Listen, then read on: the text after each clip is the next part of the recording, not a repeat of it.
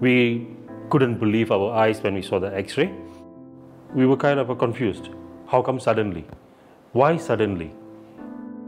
Why there's no sign and symptom that she's struggling with the enlarged heart? From outside, we couldn't see that. She was just being a normal child before even the x ray was done.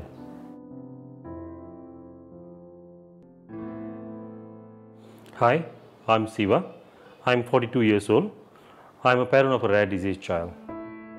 My daughter Swathi, she has infantile Pompe. Infantile Pompe is a genetic disorder. Uh, your organ gets enlarged, like your heart, your liver, and your kidney, and it causes damages to one's body. It's a life threatening um, inherited disorder, and it can be fatal. Actually, the first time when uh, during pregnancy time, and doctor says a baby girl. Uh, actually, it's very very happy because uh, I have one pair. Swathi born a normal child. She born through a cesarean, and uh, at the birth, uh, doctor observed some abnormality in her breathing, and she was held in ICU. But gladly, after two days, she was cleared, and we were so happy to bring her home. As Swathi grows, we notice that her tongue always uh, sticks out. And when we trying to find out, it was always dismissed by saying that, oh, it's just a characteristic and eventually will uh, go away. But then when she hit six months old, she had a prolonged pneumonia, which led to a finding of an enlarged heart. So right after we found the heart was enlarged, we had an echocardiogram.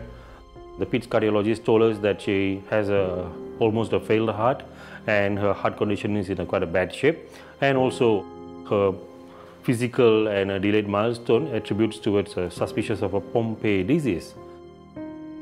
At that point of time, doctor briefly told us that it's a life-threatening uh, condition and the moment we started to read up, the very first thing we uh, found on the internet searching is the child may not live past one year when she was six months old.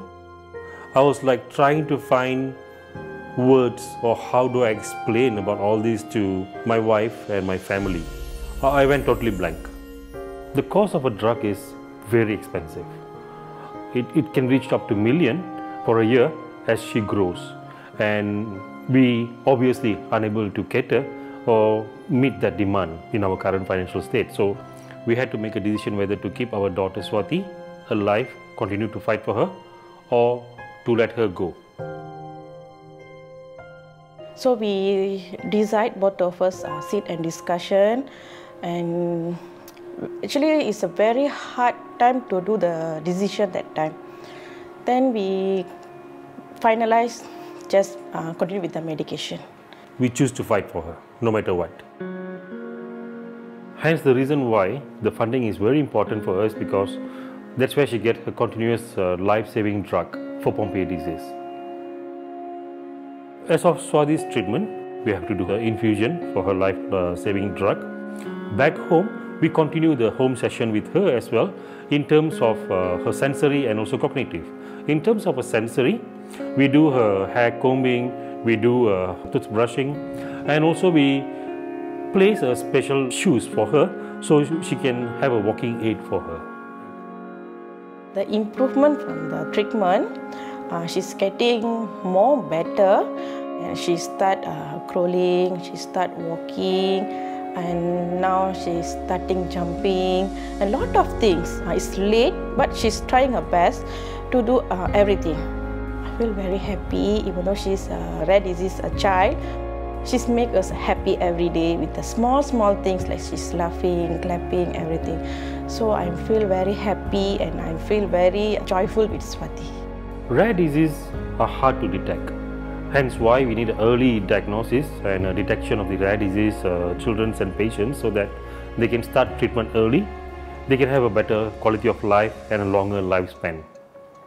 Hence why we needed more medical specialists who understands rare disease and how they could diagnose early to save more lives. So the parents need to know that there is a community that available to support them throughout the journey for them. As a family unit, we are very close to each other. Uh, beside of Swathi, we need to make sure that our son Harish is well taken care of. The good part is he's a very understanding and a caring brother, I would say. I love my sister very much. She's super special to me. And I hope she have a happy and a healthy life forever. I will never leave her alone. I really love my sister and my family so much. As a parent of a rare disease child who have gone through this journey, we are continuously fighting for a sustainable funding, continuous availability of a treatment, and all we are doing is not for the current generation, but future generation to come as well. As a mother, she's my my love. I love her so much, and she's a special and lovely daughter.